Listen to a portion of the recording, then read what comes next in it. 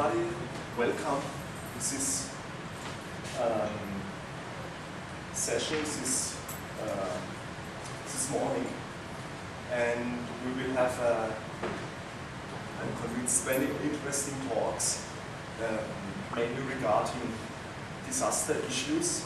And I am very happy uh, to welcome Sylvie de Laborderie. Um,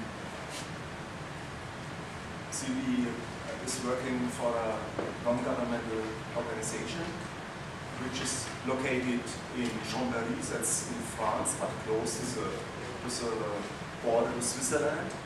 And I, I could attend their uh, uh, disaster-related conference in 2012, and I was really impressed about their, their work and the people with, uh, whom I met there, and therefore I uh, suggested to invite somebody from this NGO, and I'm very happy that Sylvie could manage it, come here to Kish and to share uh, her experience from the last years um, regarding disaster management.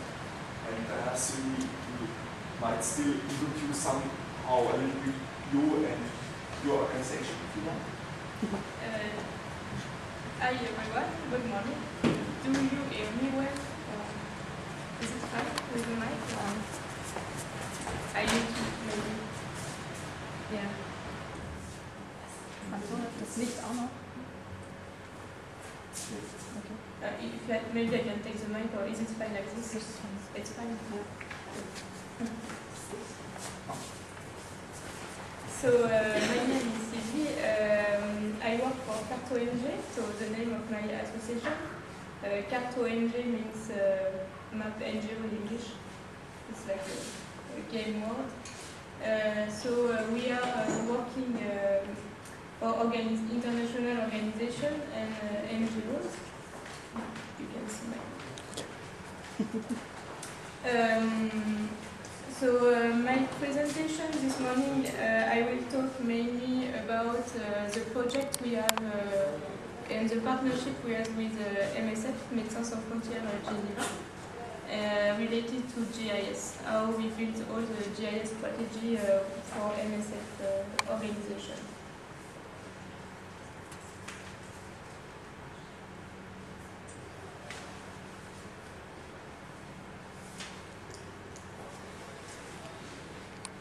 So um, we are quite young organization. We have been created in 2006, uh, and um, born we were born from UNHCR. Uh, they found us from the beginning, and uh, now we have uh, more partnership with other organizations. Uh, we started 10 years ago with uh, one staff, and now we are uh, 12 uh, employees in CartONG, and we are working with a lot of consultants as well when we don't have, uh, because we cannot have all the skills, uh, actually. Um, we are mainly specialized in uh, mapping GIS and now all the server and web development. Uh, last year we also start building capacity on uh, UAV and uh, we are also doing a lot of trainings in GIS and mobile data collection. Um, our team is going to the field regularly uh, to implement the project for our partner. Uh, so you can see here a list of uh, some countries where we've been. And uh, this, uh, this is our main partner. Uh, so the big one is uh, Médecins Sans Frontières now, and the second one is UNHCR, but we have a lot of smaller projects. Lot of uh, the, these organizations are based in, uh, in Geneva, and we are trying now to develop more the French uh, part of our association. Uh, so um, with, the, with the employee, we also have a volunteer branch, uh, which is very common in France uh, when you have an association. So now we can say we have 30 very active volunteers and they are offering their service, so also GIS and mapping and uh, web development to a small organization. uh, and more uh, not humanitarian but more in development side because the time frame for volunteer work is not the same as for an employee, so it took longer time to, to implement the project. And since last year we are involved in a missing map project. Do you know missing maps? Do you know OSM? Have you heard about OSM, OpenStreetMap? So have you heard about, uh, I don't know you, but have you heard about uh, humanitarian OpenStreetMap team maybe? Mm, Or I can explain briefly. Yes. Yeah. So uh, OpenStreetMap is a collaborative way to uh, build uh, uh, the world, uh, the map of the world, like Google Map. It's free and open source, and uh, since uh, the uh, earthquake in Haiti in 2010, uh, there is a humanitarian OpenStreetMap team which has been created. So um, it's um, a pool of volunteers or e-volunteers um, that you can task in emergency or in rush mode, and they will digitalize all, all the building for you. Like the principle of OpenStreetMap is to digitize building based on satellite imagery.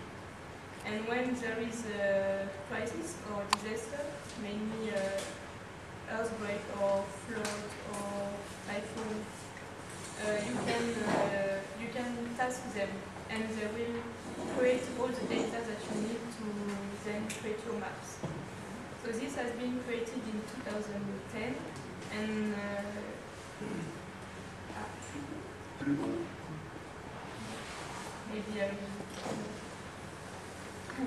Um, and, and after that, in 2014, after Ebola outbreak, um, MSF uh, London, they had the idea to create the Missing Map project. So, open humanitarian OpenStreetMap team, uh, so-called HOT, is for emergency, and Missing Map is before the emergency is to prevent and to, uh, to prepare the potential emergency. So you can task them and you can say, oh, in this area there is no data, I, I cannot find any uh, buildings or uh, point of interest or things like that. And you task them to digitize uh, specifically the area that you want. And Missing Map organized uh, everywhere in the world, yeah, everywhere in the world, they organize uh, what we call Mapathon. So Mapathon it's a meeting, like uh, people comes in one place with their laptop and together they digitize this area on a specific purpose uh, in order to prepare a potential uh, needs. So uh, is now um, involved in this project and we want to promote this uh, more particularly in France, in France and Francophone countries. Um, and MSF London and the American Red Cross are the one who are developing for uh, other countries. Uh, this is really uh, an interesting project and really used by the human, by humanitarian community. So I can talk more if you want about this project. Eh, don't hesitate to interrupt me uh, if you have any questions. Uh, so, um, in terms of tools, uh, what we've seen from the, the last years, um, there is more and more tools, a lot of uh, new technology and uh, new applications. So, uh, in Carte we are trying to uh, benchmark this tool, uh, all too related to information management. Um, and to try, because our, our, our aim is really to help uh, people to use uh, the best tool for their needs. So this is a very short animation that we did, and it's also I think available on our website. It's how we can we. you can see it.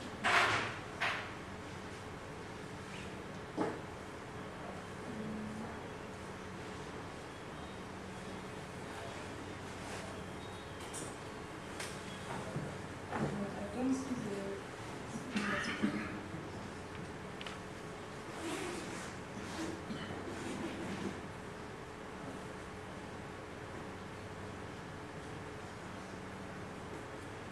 So first, uh, it will be very short. First, we evaluate the situation uh, with the partner, and then we try to define the right uh, strategy in terms of GIS and information management. Then we do some tests and try to choose the best tool.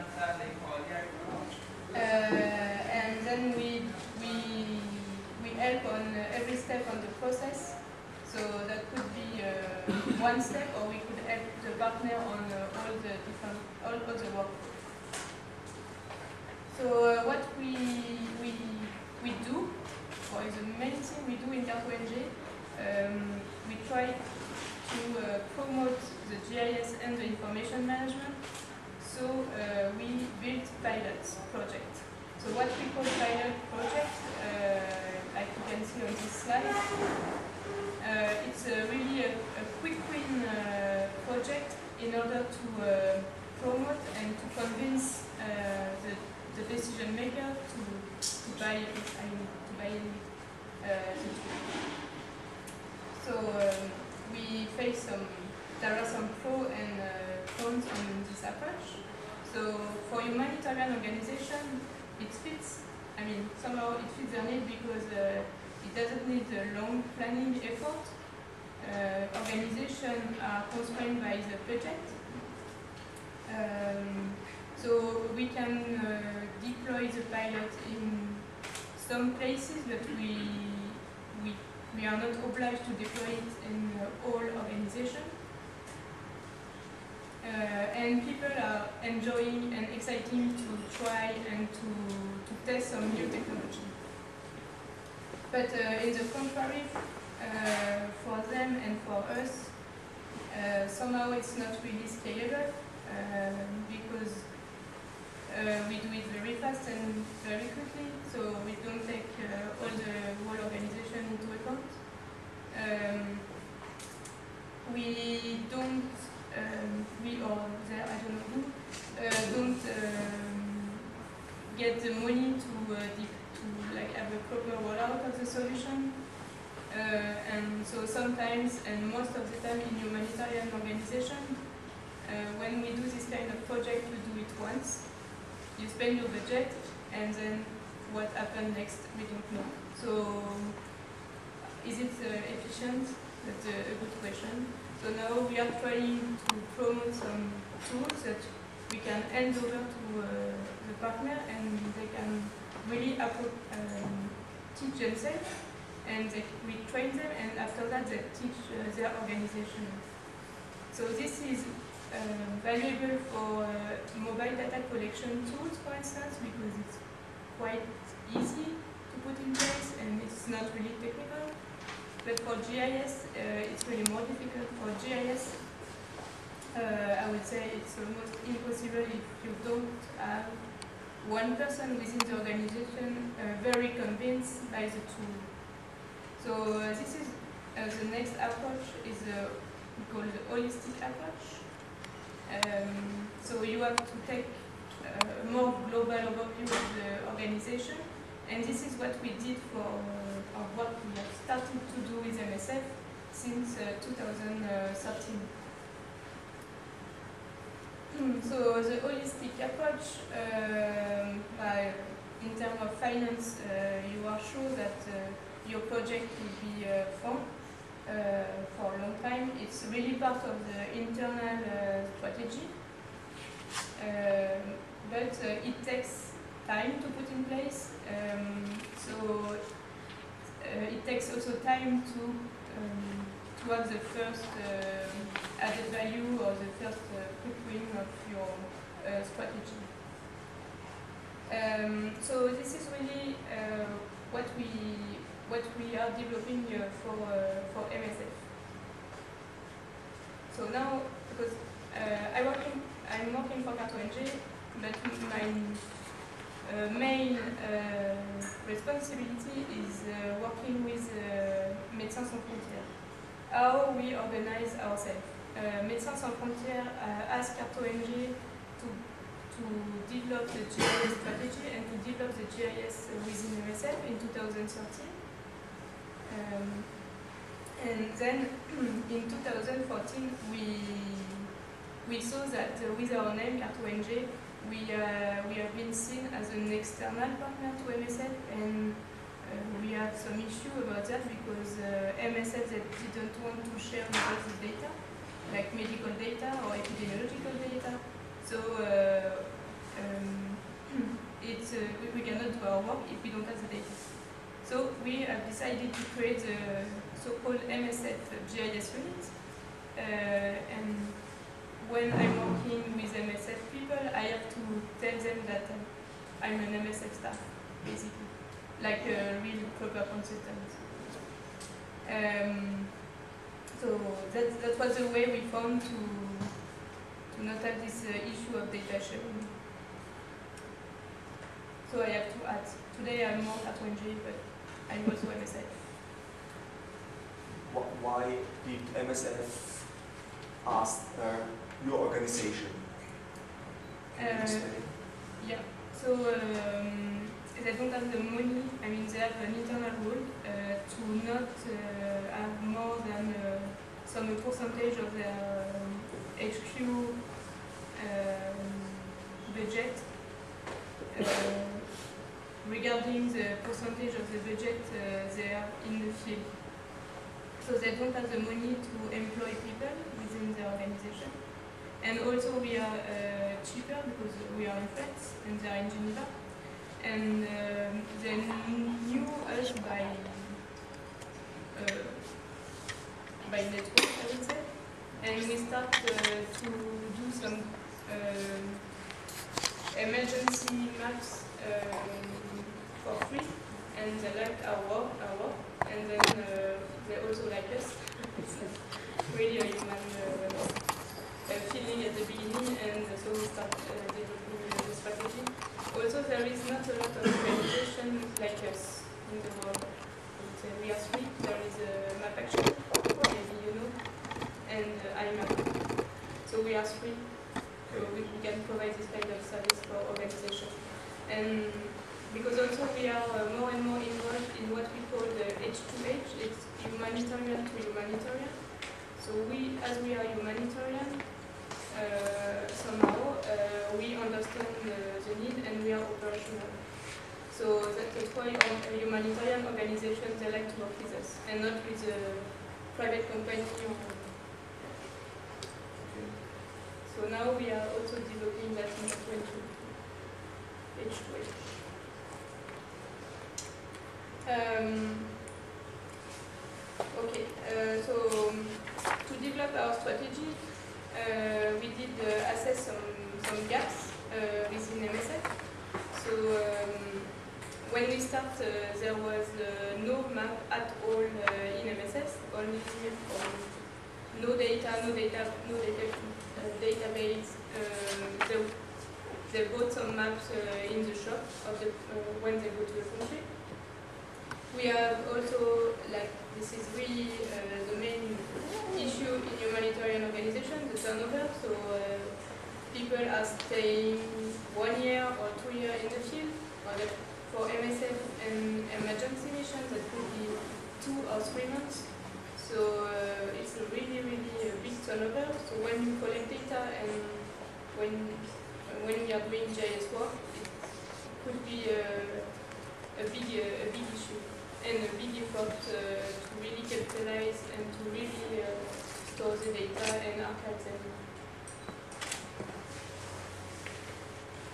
Um, when we start to convince uh, people to use GIS within MSF, uh, so this is uh, the most uh, reason that why people can block strategy development.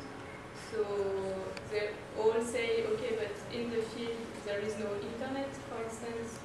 Uh, we need to be trained. Uh, also, people are not really. Maybe it's a cultural thing in the MSF, but they are not open to new tools. They always say, but what we do before, we we can do uh, how we do before it works. So why to change our way uh, of working? And this is really a, mind change. Um,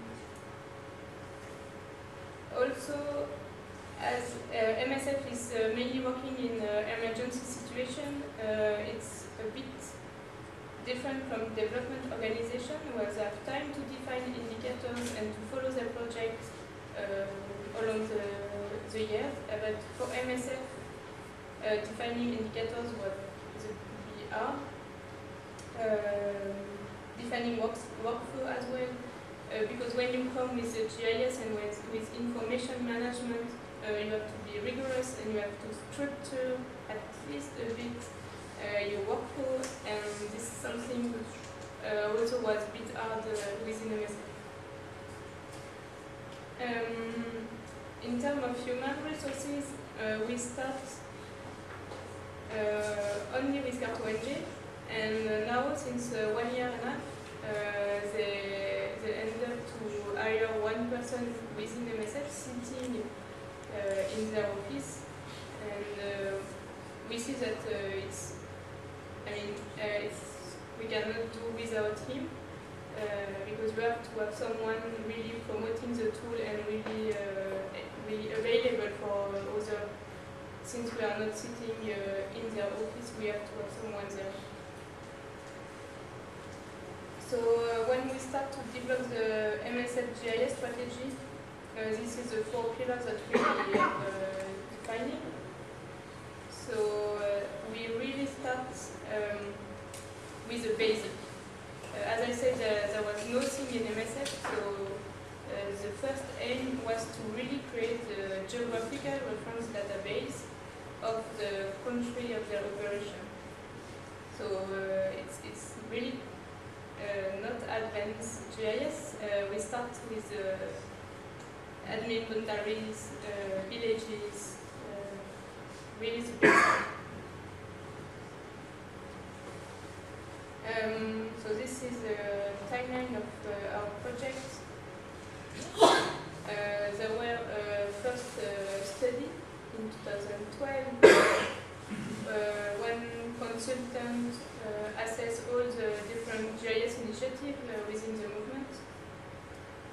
Uh, then CartONG arrived in 2013 and um, we start to develop uh, the map center. So I will show you in a bit what is the map center is really defining as a cornerstone of our, our strategy.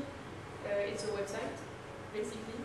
Uh, it starts to be an FTP server when we uh, upload all our work and all our maps and we make uh, this website available for all uh, MSF staff. Um, in 2014, we didn't expect uh, to go this way, but uh, with Ebola, we start deploying one GIS uh, officer in the field in the really, really beginning of Ebola outbreak. So it has started in March 2014.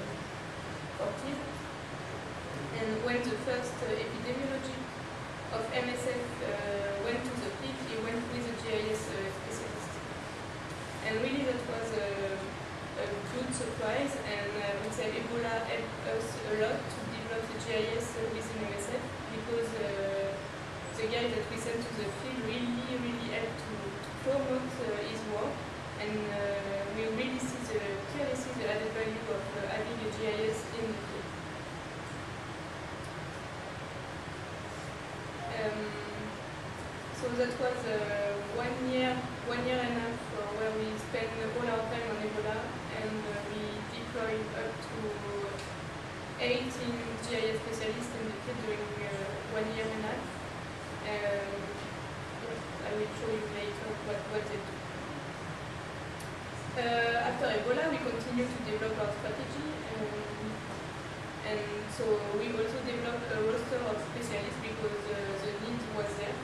And now for almost all outbreak or emergency mission at least, we send a GIS uh, specialist the GIS officers were MSF staff or from your side? So at the beginning, uh, it was uh, from CartONG. Uh, so it was based on our network actually.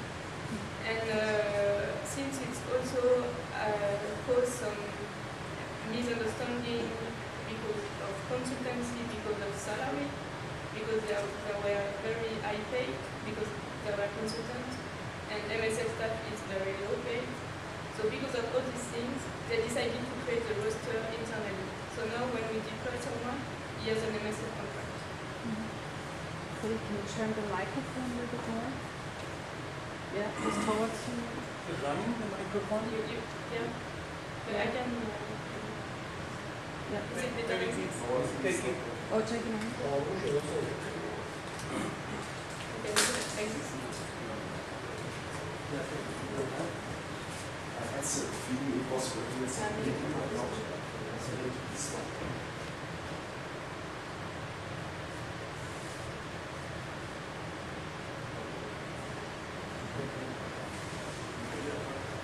But I can speak louder.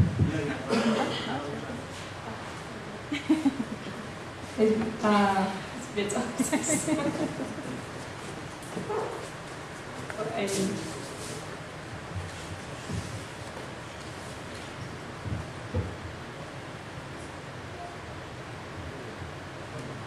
Is it better? Is it better?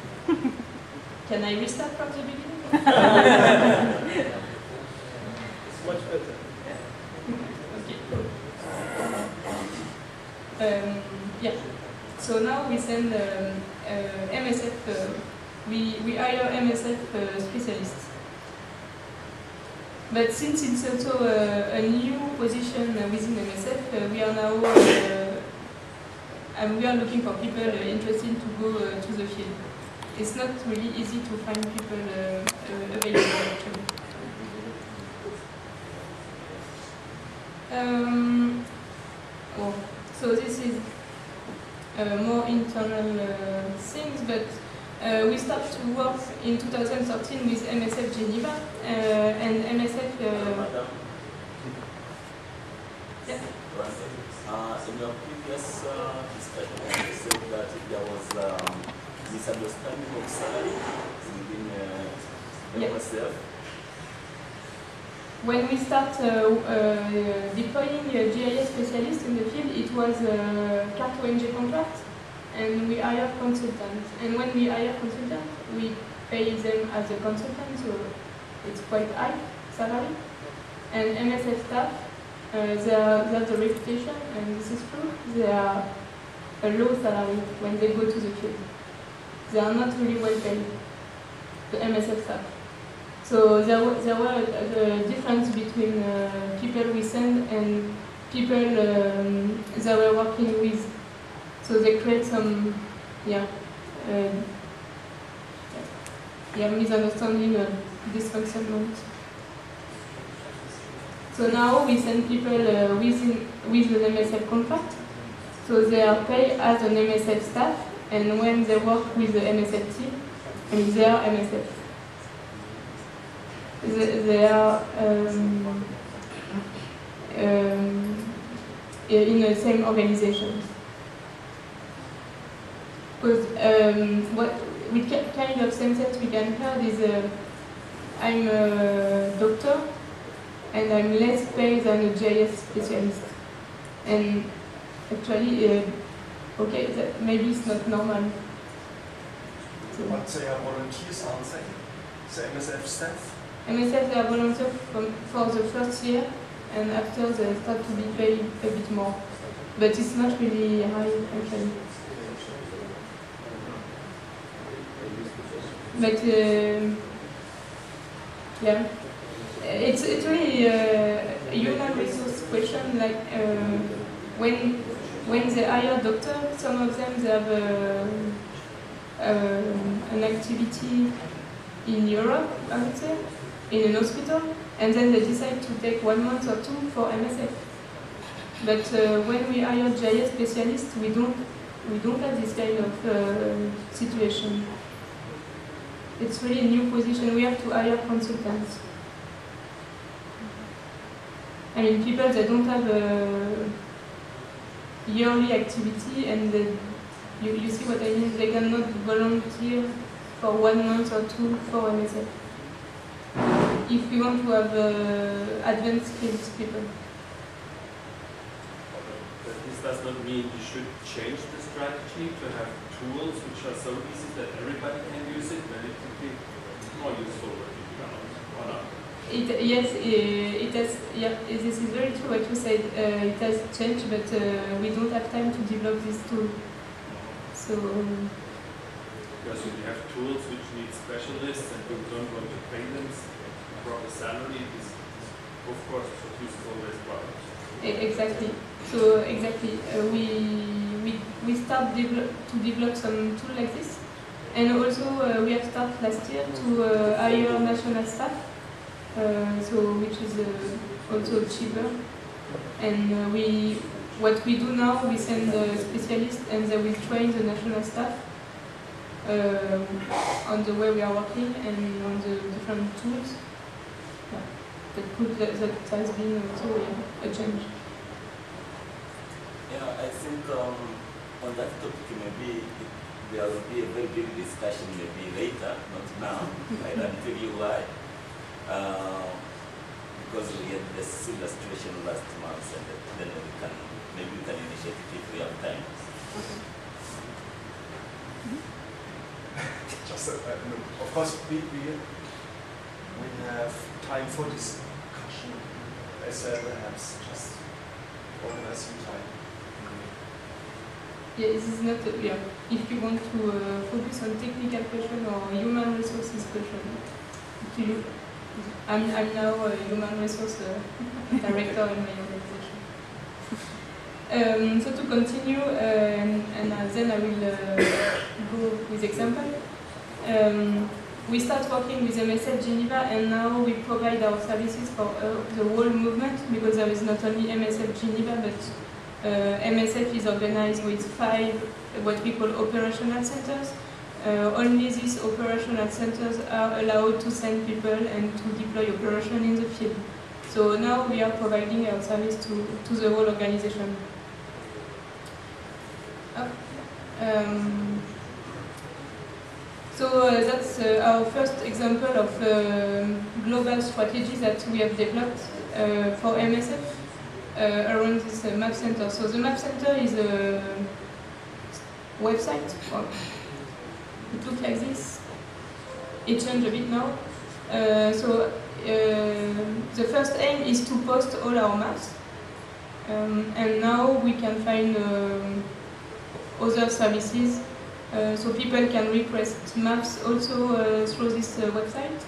So um, uh, we start using uh, GeoNetwork. It was uh, an application, open source application, but it required a lot of development. It was not very well documented. Uh, it crashed our server a lot, so we, it was really not stable at all. So now we start to develop uh, this website from scratch uh, using uh, the last technology with Symfony 2, if you know it. Uh, it's a PHP framework. I don't know if I'm going too technical or not. That's fine. Can. true, okay. Um, and this is the way uh, and the workflow uh, of, uh, of our organization now. So from the field through the map center to uh, the GIS unit and the GIS unit uh, give output through the map center to the field.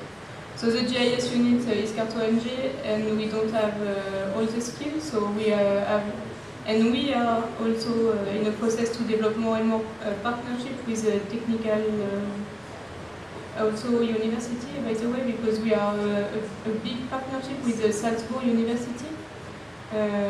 Salzburg University is specialized in satellite imagery analysis, so they are doing for us all the um, analysis on satellite imagery.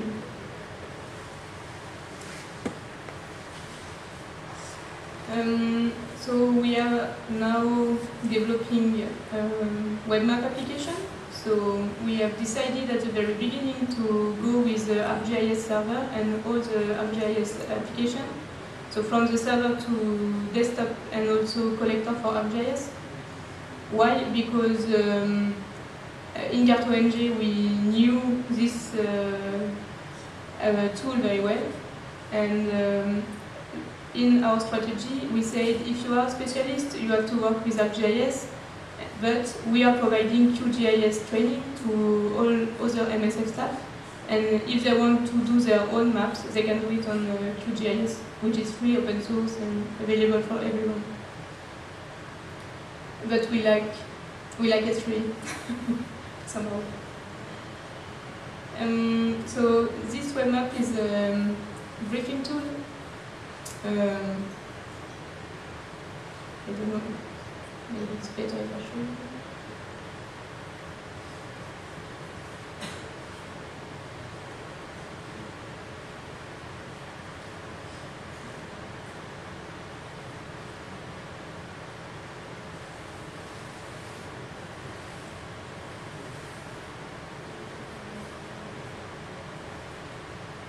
So it's quite quite basic as well. huh? Uh, on on the map you can see uh, the MSF uh, offices in the field.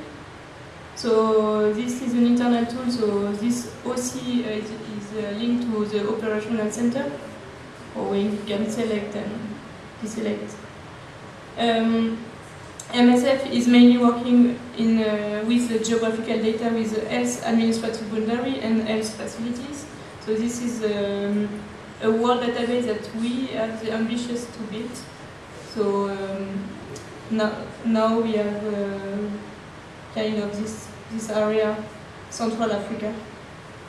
But we are looking for other data. Uh, so basically you can change the background if you want, you can put some satellite imagery. Uh, we developed a search tool. So which uh, the tool is based on OpenStreetMap database. So maybe we can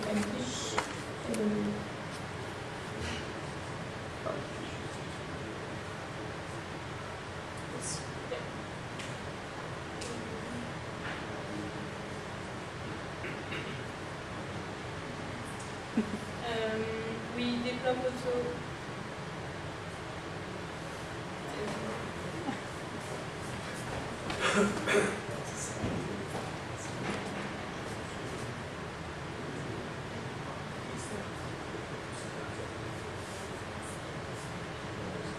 Yeah. Yeah. Right, thank you.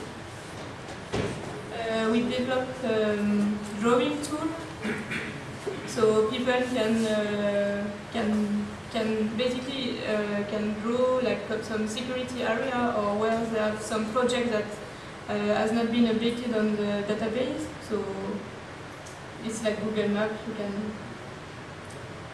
define uh, everything on the point, color, etc. Logo. Uh, you can polygon as well.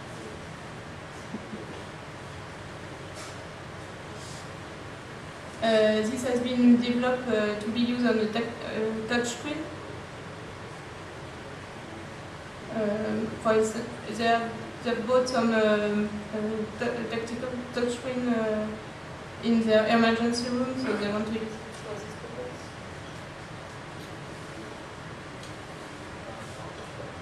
And um, so when, when you draw on this map, um, you can export your data as a KML and then you can share with your colleague. Or you can import a KML that you have received from the field and uh, you, can, you can see it.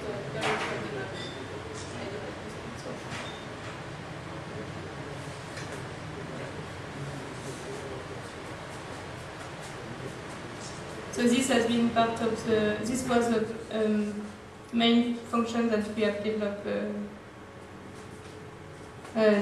last year and this year.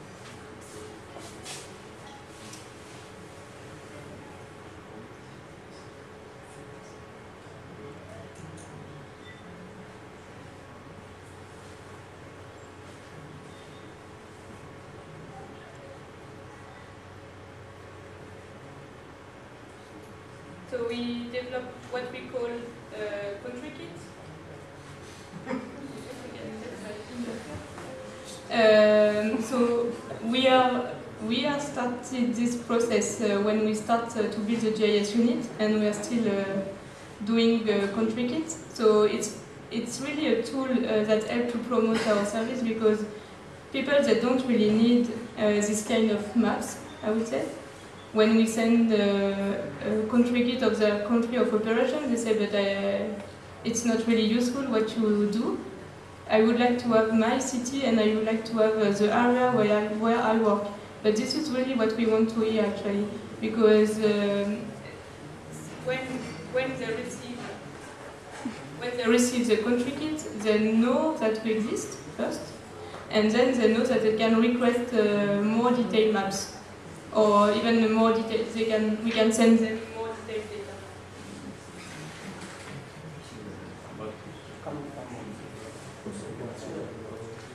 Um, so uh, yeah, so this is a, a good way to, to promote our activity. Uh, now a pilot project um, uh, linked to what uh, you said. Uh, we developed this uh, we call it GeoKM for Geo Knowledge Management. We developed this tool in uh, DRC in Congo, uh, and normally this tool is doesn't need to have a GIS specialist to run. So for this, we are using Collector for ArcGIS to collect data directly uh, in the field on the smartphone. Uh, then we developed the front end using the D3 uh, JavaScript library, uh, which makes the, uh, the charts uh, dynamic, and you, you can filter as well. Just forget it, no problem, we can hear. We can hear. I, I will uh, try to speak further. So um, we, this was our first pilot within MSF to develop this uh, GIS dashboard, and uh, we we took, I would say, uh, to be honest, uh, almost two years to develop this kind of only this page, um, because we start to develop one tool and uh, the indicators was not were not very well defined, so we have to redo uh, everything. So this is a, big lesson learned. So now we only uh, start to develop dashboard when we are sure that uh, indicators are, are relevant. Um, and um, I would say the first deployment uh, of a GIS specialist in the field was a pilot because we really uh, didn't know how uh, uh, gone. And uh, now uh, we scale up this process. Uh, we, de we deploy, we have um, four GIS specialists in the field per month, approximately. And uh, now we have something like 10 national staff in 10 countries. So the national staff are based where MSF has regular mission. In emergency, we always deploy a GIS specialist. Um, so uh, really the work of a GIS specialist is, is basic in the field. Uh, what he's looking for is uh, for, the, for really basic data. Where are the village, basically. So when, uh, when he arrives, uh, he, most of the time he hire a team of GPS men uh, and send them to the field and he collect data. Uh, and uh, he's doing, so at the beginning he was doing a lot of paper maps and uh, now his work is a, bit changing. You. Oh, so some of the examples. Uh, our first emergency was uh, Haiyan, the typhoon in Philippines in 2013. So uh, we did a lot of very detailed maps like this. So uh, you can see a lot of information. Uh, you have all the very um, the smaller administrative boundaries, all the health facilities. Uh, but what happened? There was no internet connection in the field, so they didn't receive our maps. So what our work was really not useful for them in the field. It was used only at HQ level. Um, then after this, um, we have the Ebola Ebola response. Um, so we start with one in March, and when the out outbreak uh, were in the three countries, we have uh, up to three GIS specialists, one per country.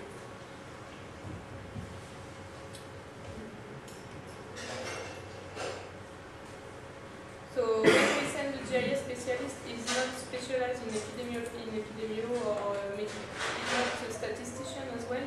So we he has to work in binôme with uh, with the sector specialist. Uh, I would say. Uh, uh, short. Uh. This is our team. Thank you. Uh, so it's really basic. Uh, I, I insist. Uh, you give a GPS to a, to a guy, you give a motorbike, and then uh, he can go to the field and uh, collect, uh, collect data. And then you can produce your maps. So this as an example of um, map for Ebola outbreak. So this is in uh, Liberia, in Monrovia. So um, you can see um um, where the, the disease are. Uh, so all the, all the maps are, uh, as I say, created in binôme with the epidemiologist. So this kind of of map help to understand faster the outbreak. For Ebola, it doesn't help to prevent uh, where Ebola will go uh. It also depends on the outbreak. Um, this map, um, so I don't know if you are familiar with the Ebola outbreak and the quarantine system. Like uh, when people are, have Ebola, they are put in quarantine in their house.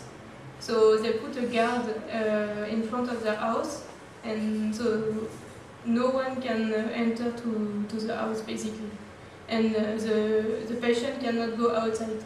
So you have you have to provide them water, food, and uh, all uh, all basic needs. And on this map you can see all the quarantine, and you can see all the services that are not provided. So in blue, the services are provided, and in red, it, uh, it's not uh, provided. And this kind of map is used uh, in coordination meeting, for instance, and because organizations who are working like this is in Britain, uh, they said we are providing water to all the quarantine. And then MSF is going to all the quarantine, doing a survey, and people say, uh, no, I, do, I don't have any water, for instance. So then the- you can bring your maps and you can say, look, on all these quarantines there is no water. What do you do? So this is also part of the MSF uh, mandate to to uh, to assess if the, if the patient uh, they have all the, the need. Um, this is an, another map uh, in uh, Freetown. It- It's in Freetown in Sierra Leone. So you can also see um, where are the main um, Ebola spots, hotspots. So we provide GIS services, but uh, we also provide a lot of data management uh, support to all sector uh, specialists. We help them to really structure the, the way they collect data, the way they store them, um, because also uh, it helps us to do our work better. Um, in the field, there is a lot of interaction with the local government uh, because we have to get their data. Uh, they are the one have the, the best data. So uh, we are providing training. Um, it's, a, it's a win-win process. Uh, we are also part of some GIS coordination group uh, during an emergency, which uh, which is really useful to share uh, to share data. So this was uh, really our first uh, GIS deployment, and uh, the first lesson learned is that we improve the GIS culture um, within MSF. And after the outbreak, most of the MSF staff um, worked on Ebola outbreak, so most of them work with a GIS specialist. So when they were deployed in another context, they request a GIS specialist. So it was a, a successful uh, pilot, and then um, we've continued. So I will uh, show you. Yeah. Um, we have now three steps when we deploy a specialist. So before uh, to start an activity, or yeah, before to do an assessment, for instance. So um, uh, this is in Zimbabwe. Um, this is a water point, and in uh, orange you have the water point run by the international organization. In blue you have the water point run by the government. And um, in red you have the water point that doesn't work. So it's quite basic uh, GIS analysis. But it's really helped to put in place the operation uh, when you do your assessment and you have this kind of map.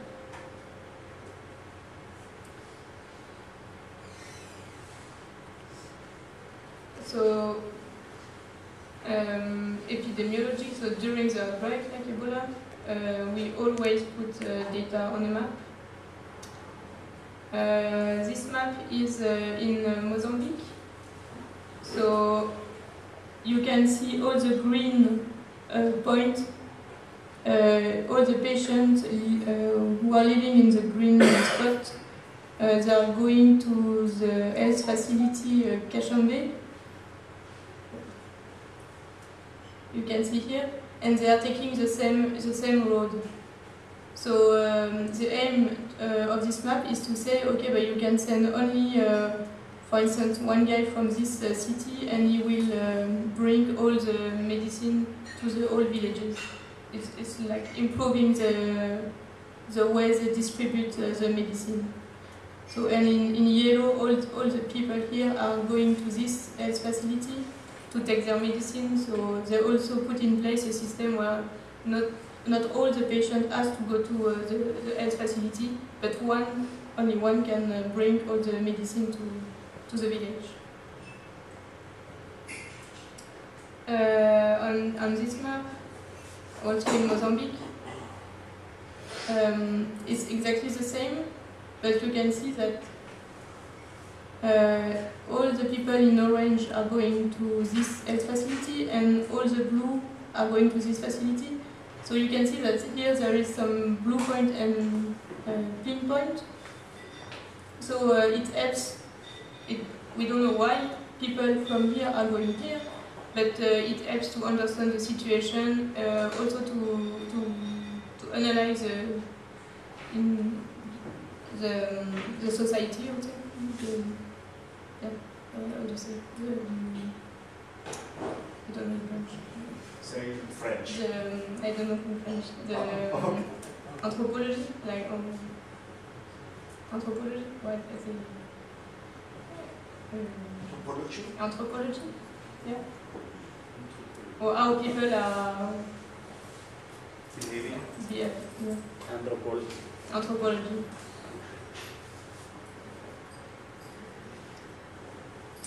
Um, this map, um, so it's also uh, during Ebola, it, it's in, uh, in Guinea-Conakry, so it's in Conakry. Um, so you can see on this map where uh, MSF staff are doing health promotion. So when they are doing health promotion, uh, they are going to school or they are going house by house uh, just to send the good practice or to do some training on uh, how, how to behave with, uh, during an Ebola outbreak. And so we, we produce this map uh, in green, in green color like this. Uh, this is where there, there are um, Ebola, Ebola patients. And uh, it's very small, but here you have all the number of training that has been done elsewhere. So this has been very useful to, to help uh, MSF staff to reorient where they have to do some training. Like they have to focus on this area and not on the blank area. Quite simple as well. Um, we, we provide support for logistic uh, department. So this map uh, is in uh, Congo. so here you have a river uh, and some lake. Here you have the main office of uh, MSF operation. So they send a team to assess all the bridge and all the facility like port uh, along the river, and then they can, with this map, they can um, uh, really define which road and the best access to reach uh, all this population here. Uh, it was for planning a vaccination campaign.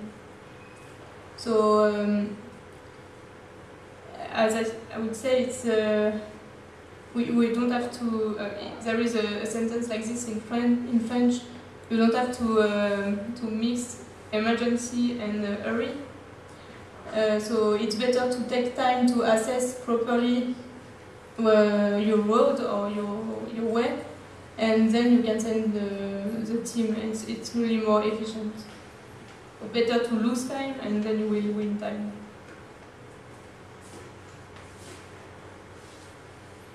Uh, but this is the same, uh, the zoom on the map. So it's also uh, in kind of context uh, where there is a rain, rainy season, so uh, the roads are blocked. Uh, so you, you really don't know uh, how, how is, uh, is the road. Um, so this is during um, an epidemic and after the GIS is used for reporting process. So you can see, you can have this kind of map. Um, yeah. So it's used for uh, analyzing. The thing is that you have to think before you're analyzing how you want to analyze your data to have a, a good tool at the end.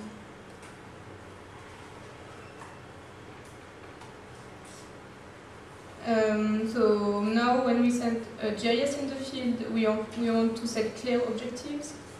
Um, he has to, to see directly we, uh, what information already exists, uh, what information he has to create, how he will create this information, um, really plan your data management and data model, and really define a, a strategy at a mission level or context level or your project level. So it's quite quite basic, but um, it's it's uh, it's important. So um, with Ebola, uh, we start uh, with basic uh, GIS, and now our GIS specialists are doing more and more more advanced, I would say, uh, um, GIS, and they are also uh, promoting mobile data collection. So using mainly Kobo. So uh, do you know Kobo, Kobo Collect, or maybe ODK? Or Okay, yes. ODK, yes. So uh, it's uh, quite the same. It's an open source tool that you can uh, download on your smartphone, and then you can create your survey, uh, and you, uh, you you do your survey, and then you get your data on your database. Uh, it's an online tool. So uh, we are developing that in the field for MSF. At the end, you have this kind of maps. It's uh, it, it's directly automatically done uh, uh, on the tool. So you collect your point, and you can collect different attributes, uh, take picture. Uh, um, so this is um, mapping, uh, which is uh, the most visible uh, work we are doing. And uh, what we uh, we have to think is to to to think about different tool for different uh, usage.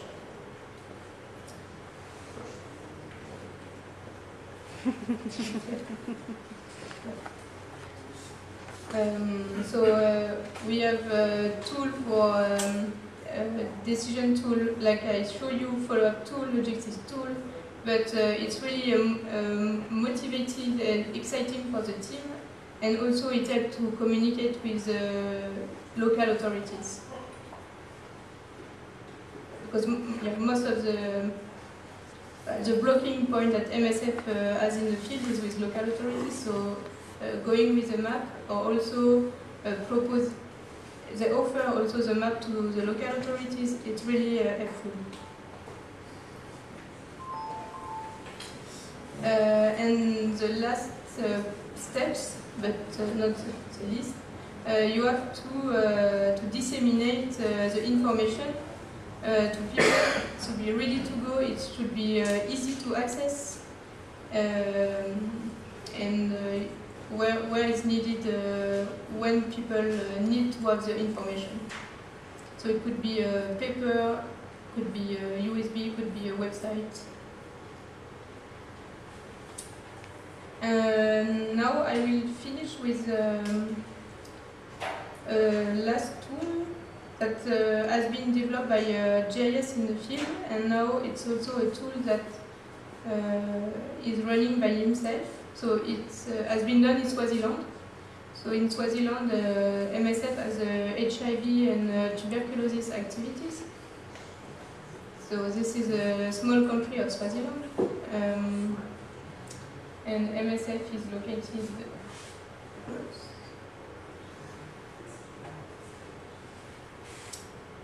um, is located in the south, uh, in the Shiselweni uh, region, and uh, is present in uh, three health facilities. Uh, and they would like to follow up the activity uh, on HIV. Where are the patients?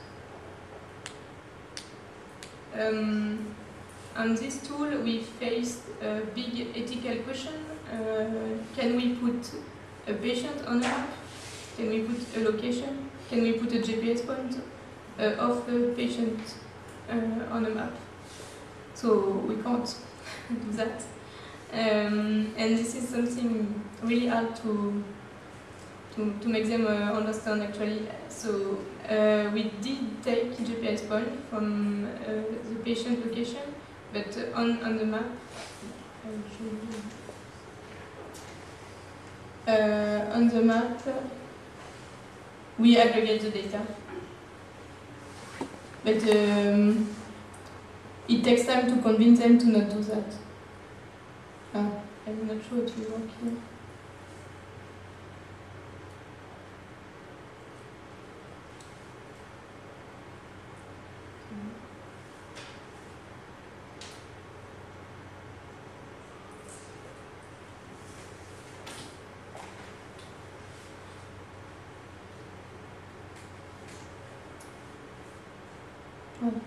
Uh, so people they, they um, were going to the field with a Kobo collect. Uh, so it looks like this. You can do your survey. And uh, then all the data are stored on the Kobo database. So the server is uh, internal. Uh, it's an MSF server. We also request the authority to have the right to uh, put the medical data outside the country uh, which it's an international law. Um, and then we develop this uh, this dashboard. So uh, I'm not sure I can show you uh, in live, but here you can see some some screenshots. Uh, so you can have the number of patients.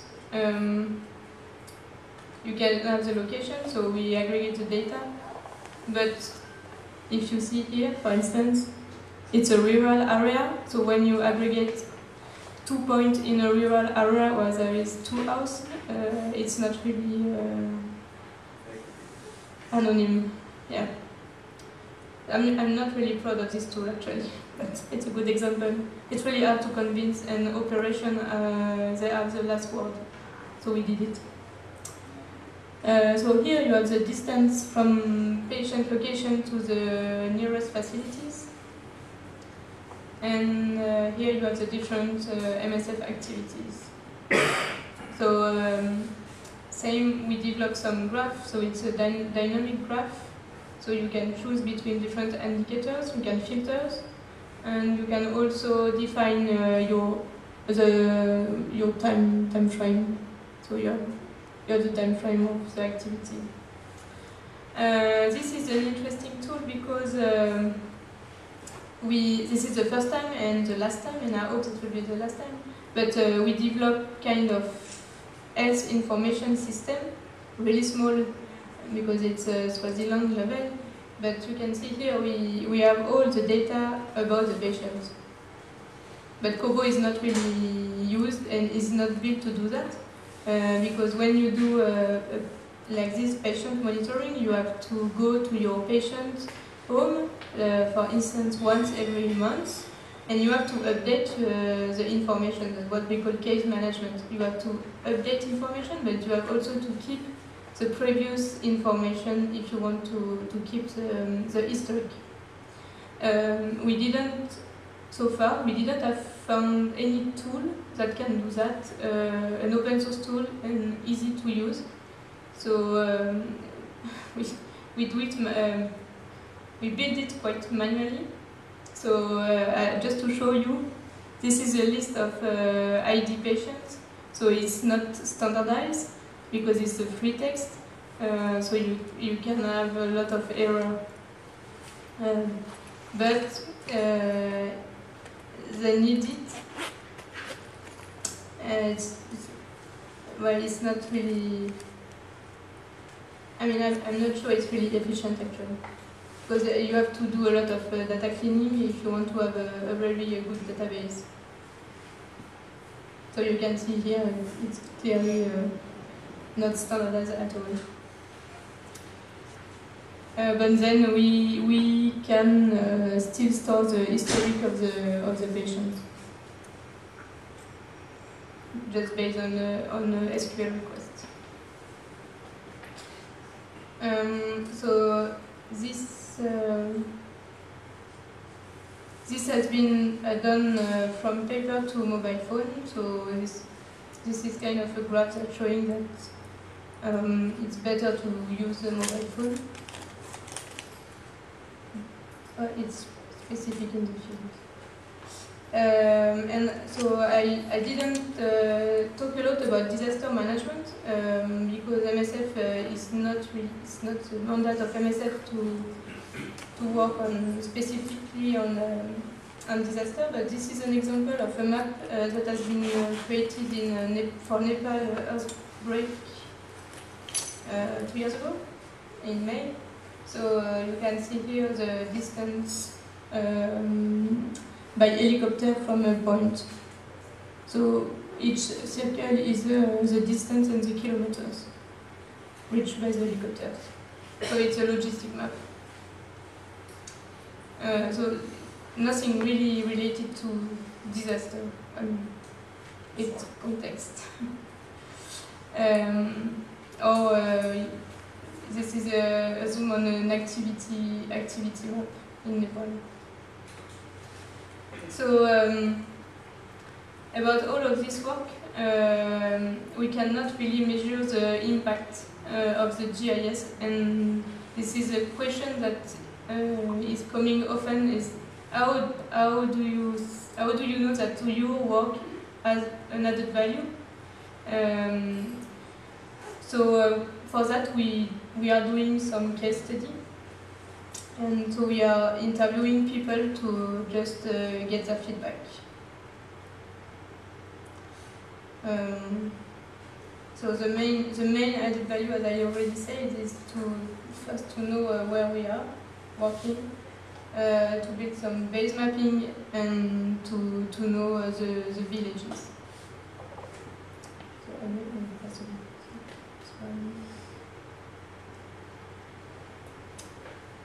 Um, yeah, this is some feedback from from the the team uh, in the field.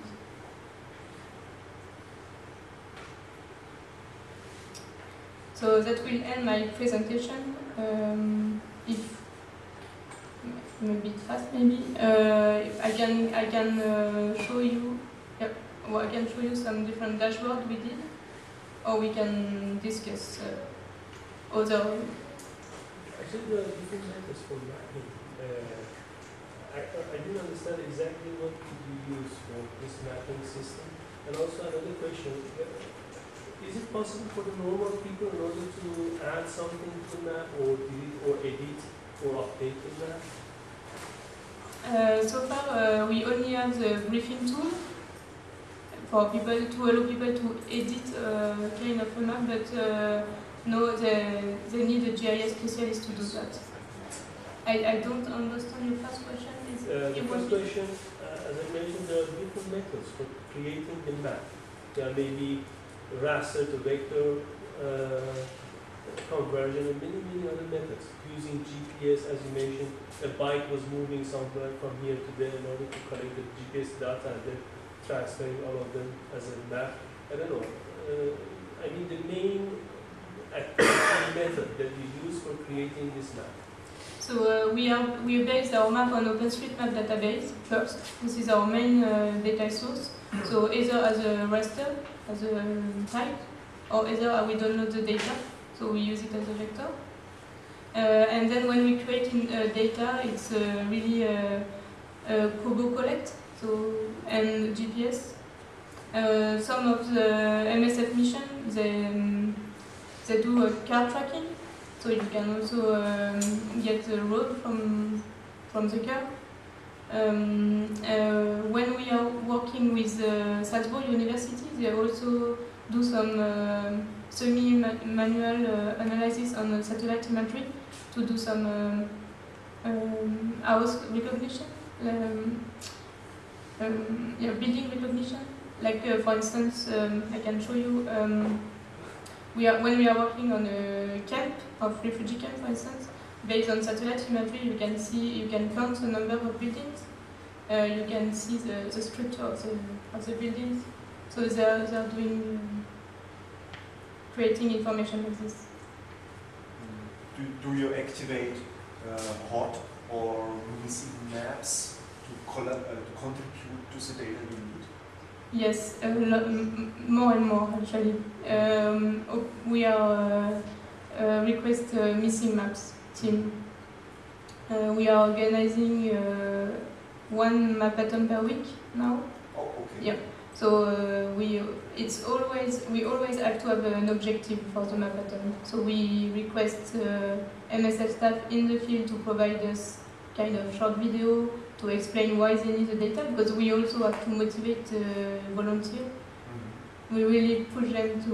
Uh, we we want to, they have to be valorized on, on the work they are doing and to keep motivation. Sashi? Okay. Yeah, my, I have uh, two comments basically, basically on your, uh, uh, as you were mentioning about the budget constraints also on uh, GIS, establishing GIS map center and stuff. Uh, I was wondering whether you tried to contact uh, these crowdsourcing platforms like Ushahidi. Uh, they, they were very active during disaster mapping and all, especially during Ebola outbreak also they were. And I think they offer their platform for uh, other organizations so that you, you avoid the overhead of creating the platform of you by yourself. Yeah, And uh, second, before you go, second, I, I would really, it's my personal opinion. I mean, uh, ArcGIS server, I don't know how much. Um, it, it, it would be beneficial, in my opinion, for a humanitarian organization if you move to a open source server and uh, adapt um, open OGC specifications because I I know that many other organizations have this WMS and WFS services, so you can also incorporate those things. So uh, when you offer your services in ArcGIS server, unless it is not WMS or WFS, you cannot also share them. You know, so dissemination is also blocked. Um, so that would be another comment from my. It's my personal opinion. So there can be different uh, opinions on that. Yeah. Uh, First of all, Ushahidi. Ushahidi, yeah. um, eh, all organizations they want to have their own application. it's not like this. Competition. Yeah, because they are sure that uh, it will be their own data and they will be the, the owner of their data, even if it's uh, a boundary. Uh, no, no one has to be owner of a boundary or of a point of health facility, for instance. But it's they, they, they are sure that they have their own application. Uh, also uh, for Ebola, um, MSF has been alone for Oh, uh, really, uh, uh, to be honest, the we start in March, and the, the first GIS application that we've seen was in August, so it was really late. And uh, OCHA, who is responsible to to collect all these uh, villages and admin boundary, they start in August, so it's really too late for MSF. Uh, yeah. And the second question for API server, it's a good question. That's a suggestion, uh, not a question. No, I, I, yeah, I, I agree with you, but um, that's why we are promoting QGIS in the field because we want to keep the open source uh, also uh, well. Uh, but with API server, it's a click button, and we see we see it so far as the most operational tool. You don't have to code, you don't have to to set a lot of parameter in your server. It was it was not the same uh, Yeah, four years before. ago, and so now we start with that. I think it changed. It It changed. It changed changed, it changed. significantly. Yeah. Maybe it's time, yeah. Mm. Or And also change? for NGO, uh, the price for ArcGIS server is is really good. So uh, Ah. we have to have a, s- uh, I mean the argument I see is uh, only uh, an- a subjective point of view to change to, to open source. Yeah, my point is you can use that budget to, for a good GIS specialist. Uh, one, one remark, one related question. You also get some support from ESRI. As an NGO, I think you will get it for free or not, the software, Which one? ArcGIS. You have to pay for it. Yeah, yeah, but it's really cheap. It's cheap for NGOs. Yeah. But uh, the, the, the thing is that uh, you cannot hand over to, to the field, or you cannot hand over. Uh, for MSF, it's quite uh, different because it's an internal tool, so MSF will continue to use it if we don't decide to change it. Uh, as CartONG, when we work with other partners, we don't promote ArcGIS at all because um, because you, people have to pay uh, if you hand over your project to the local NGO or local government, uh, we really promote the open source uh, tool. And Johanna? Perhaps Johanna first. Uh, I have two questions. Uh, the first has to do with uh, what is your exactly role when, when a disaster occurs? What do you do specifically? And the second one is what is the what are the strategies for motivation to the people that they are volunteers? There are the strategies. Uh, the first one is uh, when we go to the field uh, during a disaster. Uh, so, uh, Yeah, what is your role? Your personal role? What do you Her do? personal? Yes. Okay. Yes. uh, my personal role, I'm not, I'm not going to the field. No. But uh, disaster occurs, what do you do? Uh, now I'm, uh, my position is called uh, technical lead of the GIS unit, MSF GIS unit. So I'm basically I'm uh, deploying people. I'm looking for people, uh, interviewing and deploying them. Uh, so I'm also training them uh, how to use the tool and how they have to work.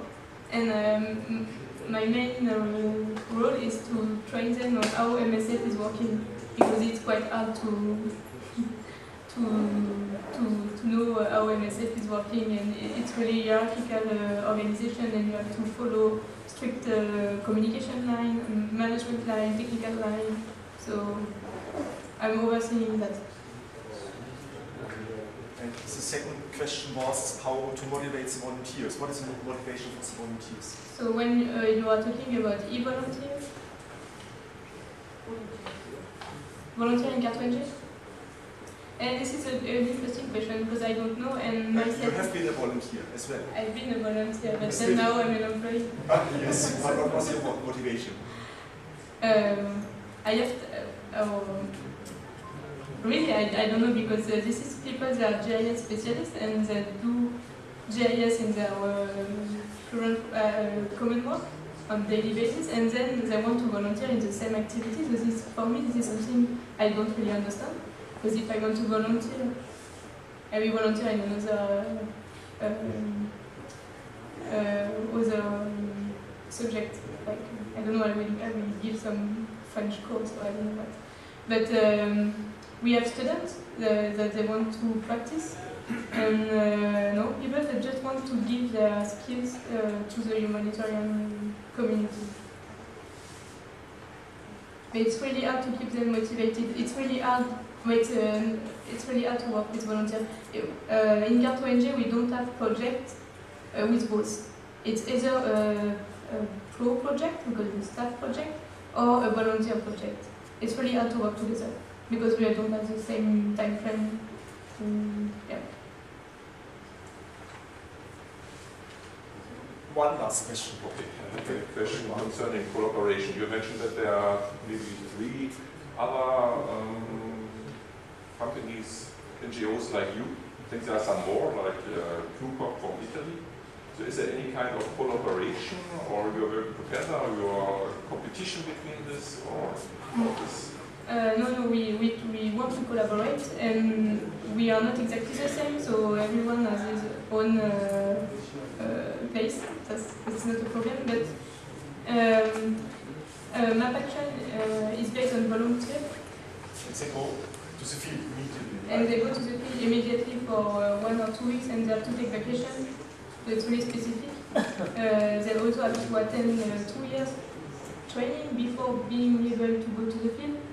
Um, and they are only, only uh, it's not a judgment, they, do, they only do maps, um, really base maps of, uh, of a country. Uh, iMMAP is more, um, it's a other American organization. Uh, they are providing consultants for organization. So they don't, um, um, I mean, it's really a, a roster of consultancy, I would say. Uh, in Carto we are a team, so we are working uh, as a team.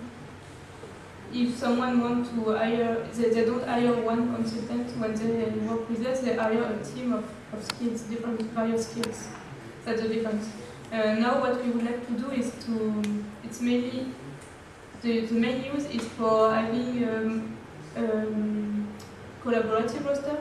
So we want to, we already deploy some MapAction guys for MSF, for instance, and MapAction want to deploy some MSF specialists, uh, mainly in francophone uh, country, because they don't have francophone. Uh, so we, we want to, to work like this uh, with UNICEF. We are three working for UNICEF, and we are um, on duty every two months. So we are we kind of share the work like this as well. But we are we, we have different specialty. And GIS Corp, and you, you said GIS Corp? UCOP, UCOP on uh, Italy. UCOP? Milano based company. NGO. Okay, no. It's similar but okay. way, so. We have a webinar in December, so it's a bit mm. similar to that. I think uh, there is a place for uh, a lot of other organizations in GIS. Yeah. Oh, Okay, please let us give a cheers.